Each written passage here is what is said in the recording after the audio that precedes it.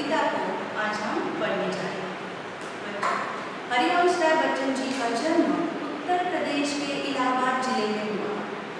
उन्होंने विश्वविद्यालय में प्राध्यापक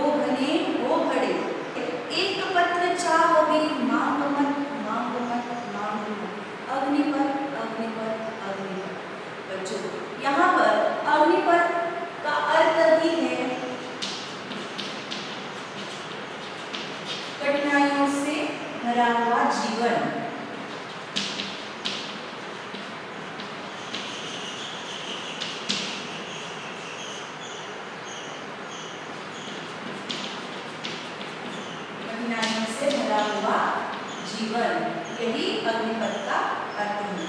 तो कवि ने हमें यही बताया कि हे मनुष्य, तुम्हारा जीवन यह संघर्ष से भरा हुआ है समस्याओं से भरा हुआ है। इसीलिए उस संघर्ष में, रास्ते पर चलते समय तुम्हें बड़े बड़े वृक्ष भी उस राह में मिलेंगे। लेकिन उन वृक्षों की एक पत्ते की भी छाया तुम्हें, छाया की अपेक्षा तुम्हें नहीं करनी है। बच्चों, यहाँ पर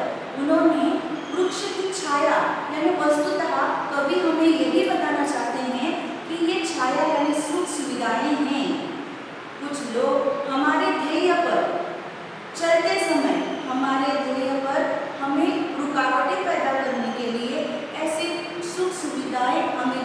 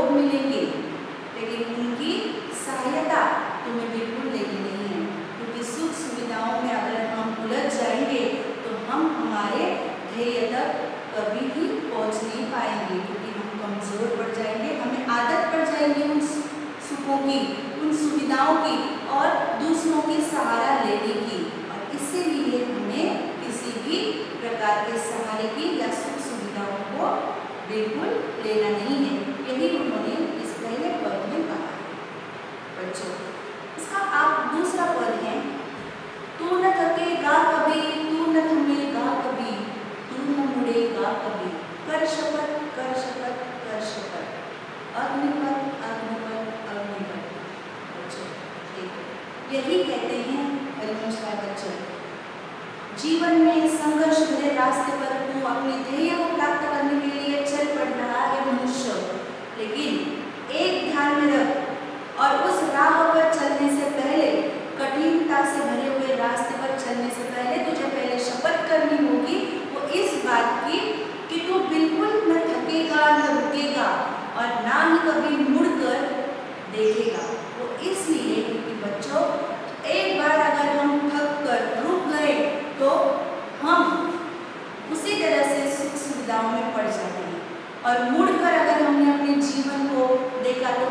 हमारी गलती और हमारी समस्या ही दिखाई देगी जो हमें आगे बढ़ने के लिए कमज़ोर बना देगी।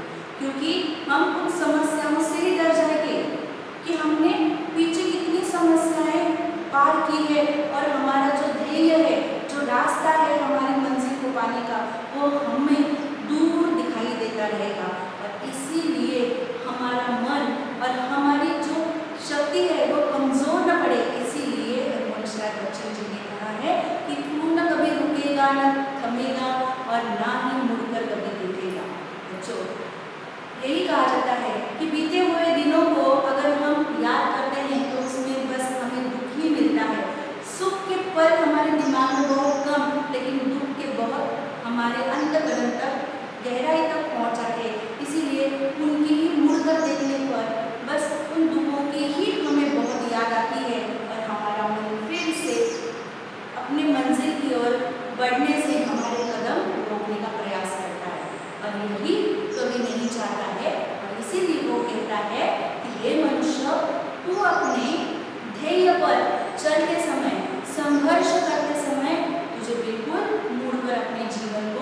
They.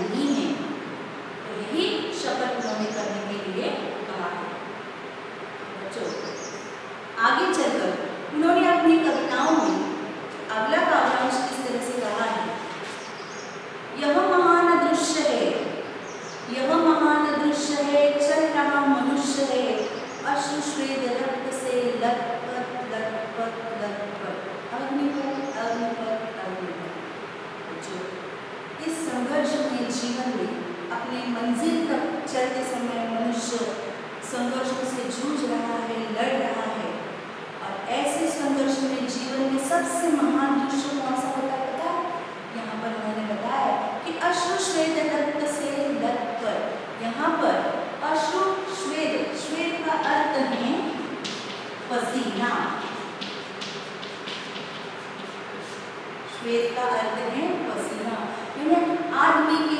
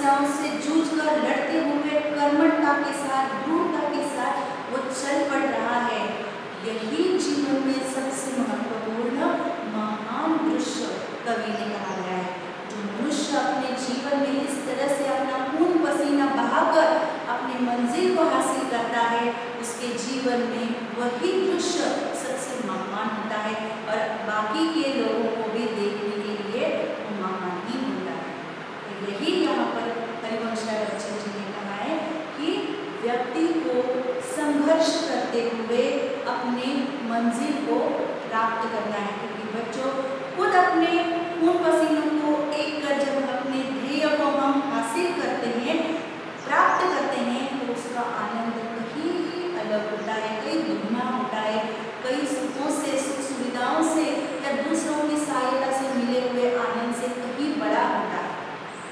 जैसे कि बच्चों, आपने अगर परीक्षाओं में खुद पढ़ाई की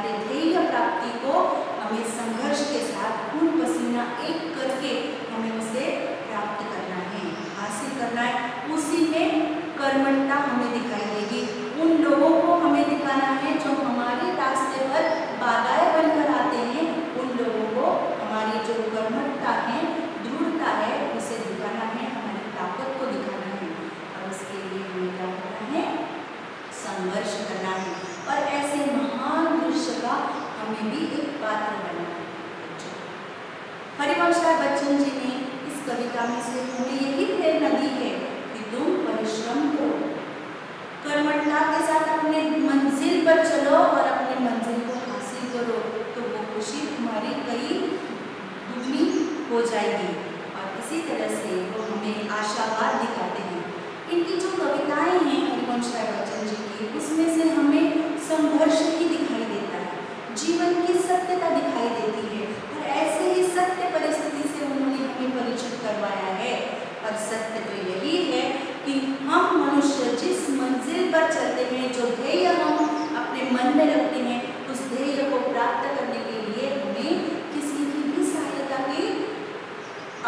अपेक्षा नहीं करनी चाहिए, बल्कि अपने बल पर, अपने ताकत पर हमें उस मंजिल को हासिल करना है और अपने महान दृश्य को कर दिखाना है। लोगों को भी हमारे कार्यों के ऊपर महानता निर्माण होगी और गर्व होगा हमारे ऊपर भी।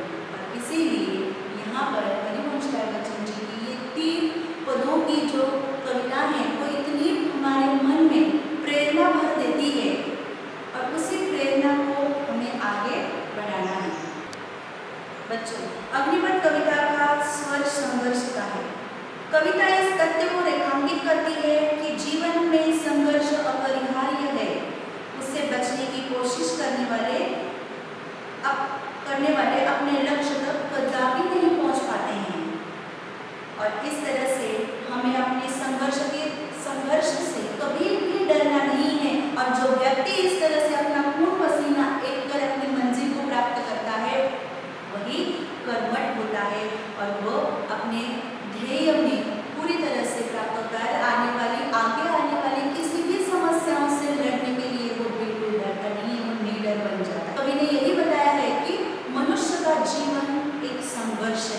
और बिना संघर्ष के तो जीवन हो ही नहीं सकता। जैसे कि हम देखते हैं इस धरती पर, इस संसार में अगर हमें टिकना है तो हमारा जीवन, यानी इस संसार में सुख भी प्राप्त करना है तो वो बिना संघर्ष से नहीं मिलता है। तो जीना तो बहुत दूर की बात है। तो सुखों को अगर आप चाहते हैं तो बच्चों, संघर्ष करना सीखो, खून पसीना